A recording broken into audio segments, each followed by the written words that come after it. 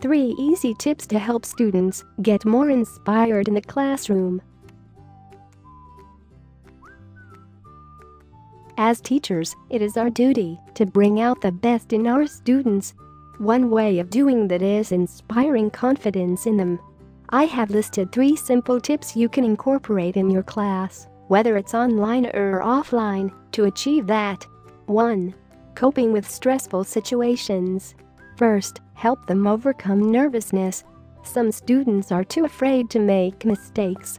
They get really nervous and think about their answers for too long. You must make them understand that communication is more important than perfection.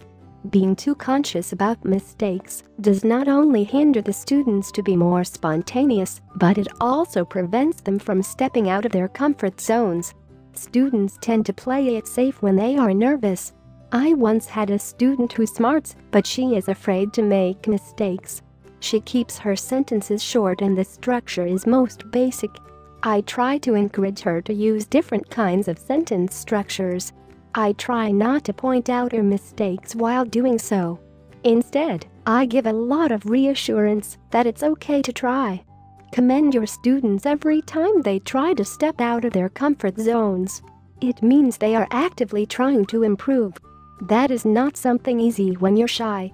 One technique that I use when the student is really anxious is pausing and asking them to relax.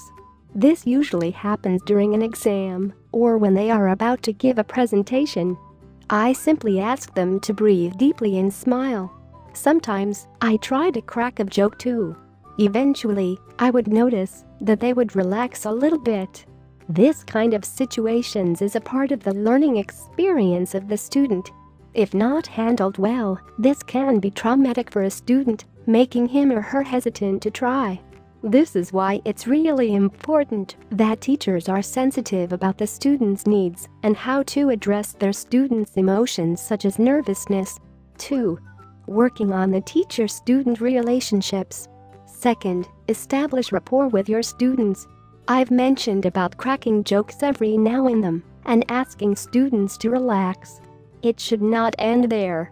Building better relationships with our students will help us make a connection during class. The dictionary meaning of rapport is a close and harmonious relationship in which the people or groups concerned understand each other's feelings or ideas and communicate well. No teacher can deny its importance. There are several ways we can build rapport with our students. Learn about your students and be genuinely interested in them. Make sure that this is reflected in your class. As much as you can, call them by their names and use personally relevant examples. Talk about their hobbies, interests, and dreams in class. Listen well to them and make them feel respected. Student appreciates it when they feel like you are interested in what they say. 3. Giving a positive feedback. Third, give positive feedback in constructive criticisms. Evaluation plays a vital role in the teaching learning process. It can take many different forms. Whether it's of simple correction or an assessment, teachers must also take note of the students' reactions. Of all people, we teachers know how our students respond to criticisms. Some take it well, others don't. That is why we must be sensitive and provide the necessary support. Teachers must be fair and consistent when giving feedback. I suggest using the sandwich feedback technique. It is a three-step procedure which involves discussing corrective feedback that is sandwiched between two layers of praise. This is an effective way of softening the impact of criticism. Are you ready to teach English abroad? These are just simple tips you can use in your class.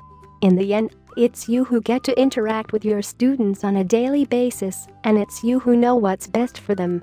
Just keep in mind that a little effort to show that you care goes a long way. Speak with an ITTT advisor today to put together your personal plan for teaching English abroad. Send us an email or call us toll free at 1 800 490 0531 to speak with an ITTT advisor today.